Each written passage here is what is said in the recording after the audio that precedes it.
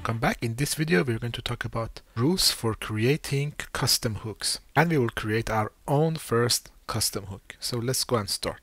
I would grab our last example that we had. Usually we won't write something like this directly inside our component and instead we'll typically call it from a custom hook. This will let us use this logic in other components if they need it. So first I would create a file I have called it use online. This is the first rule that the custom hook should start with use and then something. Use whatever.js. Then I would go here and grab these part from here and use them here and also this part. So I would define a function here called use online and the only thing that we return is this online status. We get to the second rule that we can call the hooks from inside our own hook. Something like this. Our hook is done, we need to only export it and then use it here.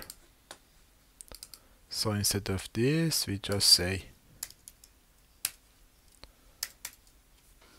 and I don't need this. As you can see, this component is now way, way smaller in size and all the logic is down here. And it should work the same. As you can see, we're connected. Great. So we talked about two of the rules.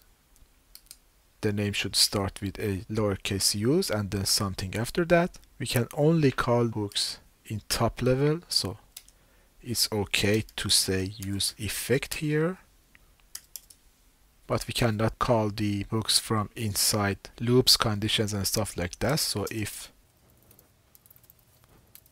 as you can see I'm getting an error here because effect is not supposed to be inside the condition or a loop or something like that. And we can only use hooks in the functional components. It's not working with the class components. So these are the rules. And this is our custom hook. And with that we get to the end of this series. I hope you have enjoyed watching the video and learned something. Until next video, have a great time and have fun. Welcome Welcome back. In this video we're going to talk about Welcome back. In this video we're going to talk about custom hooks in this video we're going to talk about custom hooks and the rules that are in this video we're going to talk welcome back in this video we're going to talk about welcome back in this video we're going to talk about custom hooks and the rules that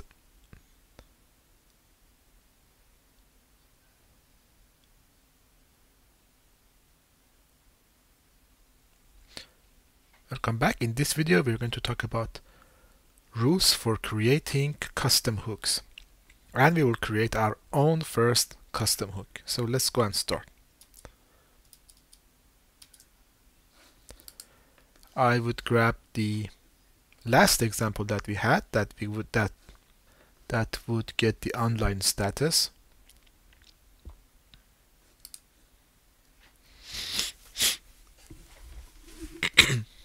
I would work on the I would work on the last example that we had and create a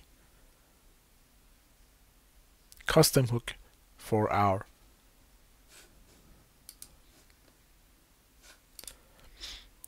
usually we don't write our own usually usually we won't write something like this directly inside our component. And instead, we'll typically call it from a custom hook.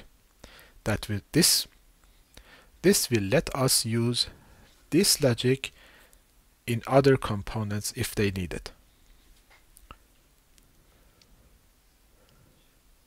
So first I would create a file. I have called it use online. This is the first rule that the custom hook should start with use and then something use whatever.js.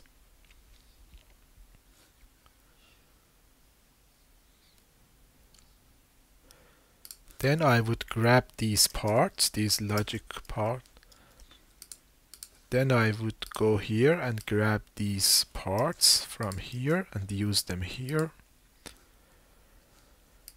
And and also this part. So I would define a function here called use online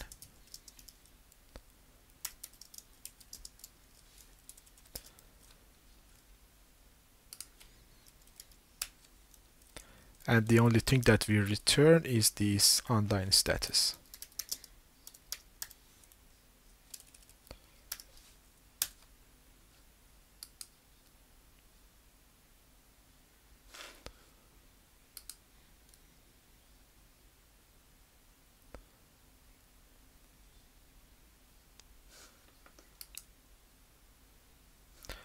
we get to the second rule that we can call the hooks from inside our own hook. Something like this.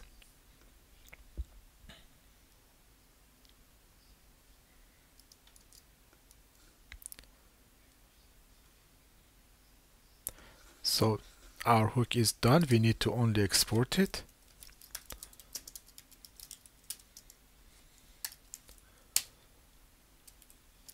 and then use it here. So instead of this we just say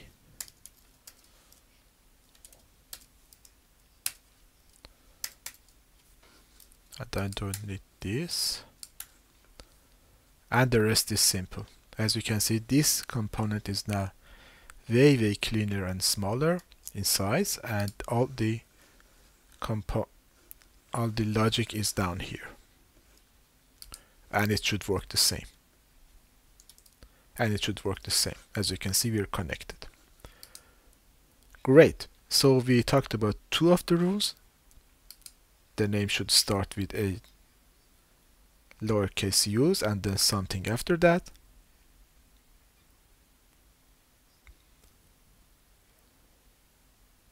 We can only call the hooks in top level so it's okay to say use effect here.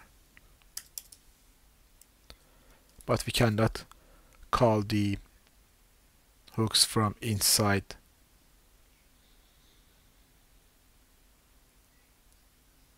Loops conditions and stuff like that. So if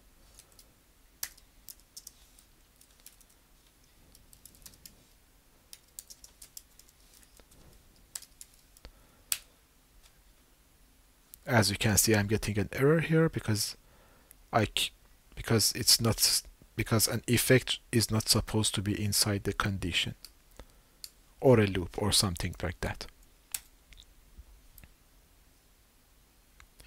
And we can only use hooks in the functional components. It's not working with the class components. So these are the rules. And this is our custom hook And with that, we get to the end of this series. I hope you have learned. I hope you have enjoyed watching the video and learned something. Until next video, have a great time and have fun.